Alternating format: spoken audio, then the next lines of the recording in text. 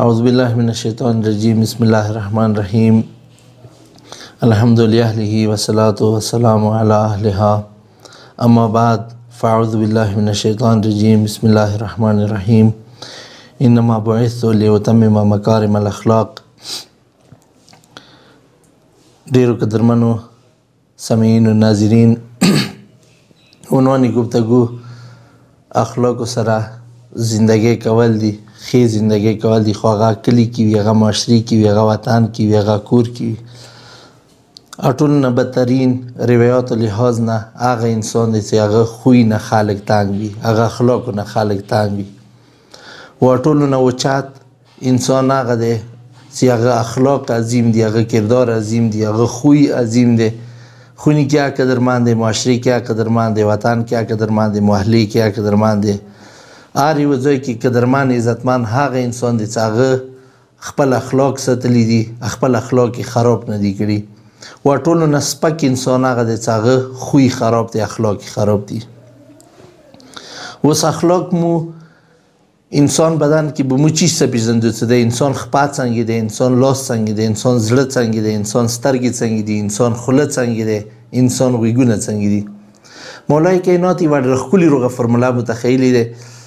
چې مولای کائنات هیڅ وره پورې ته انسان نه خپه پیژنده شي ته نه لاس پیژنده شي نه سترګې پیژنده شي نه غویګونه پیژنده شي یو شی نشي پیژندلی مولای کې نو دي ځکه د اټول انسان شخصیت پیژاندي اټول انسان ته پیژاندي سر نخپو پر انسان ته مطالعه کوي یکی یو شای وکسا یکی و شي طرف ته سترګې وغړاڅ تکلمو تعرفو خبر یو سواکا ویلی فإن المرء مخبوء تحت لسانه مولای کې نو تیز کته انسان سر نخپو پوری غوړی چې مطالعه کوم وی پیژندل چې دا خې انسان دی شریف انسان دی که فجیر انسان دی فاسق انسان دی خراب انسان دی بد انسان دی که اوچت انسان دی د اوچتواله او پستواله خواله او بدواله که تمیز ورکړي ولی مولای که اینا دی څه خبرې وساک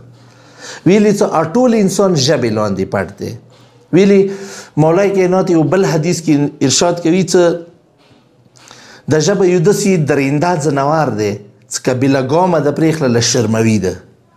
د دسی درینده ز روان دی څه چیر پاړنی والا څه هغه شکون کې هغه متون کې جنوار لکه یو لیوه کسی یو مزرای کسی انسان لیوه و مزری نه بلکې ژبې زخم زیاته لیوه و مزرای که چوک موت کی سیلی بتنو بسی مګر ای ژبې یو دسی زخم دی که ژبې سره د چاته پیغور وکړلو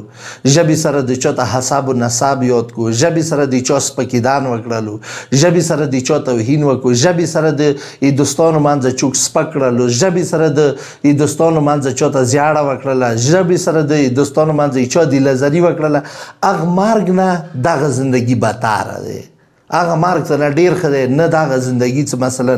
انسان دی لزری وشي انسان ته نه ازار شي اوس وخت سي تاسو مولاي کینات ځکه دغه فرموله خېل دي چې تکلم متعرفو خبر یو کوي اوس وخت هر یو هغه انسان چې هغه خبرې ډېری کوي ډېری خبرې بغیر غلطیانو نه نشي کېدلی ویلي کوم سړی چې کامې خبرې کوي خونی کې کام غږیږي خونی کې معاشري کې وطن کې قوم کې ملت کې کام غږیږي مغور هغه عزت زیاتی مغور هغه دروند هغه ایوی وی خبرې ته خلک متوجه وي چې دا د سی آی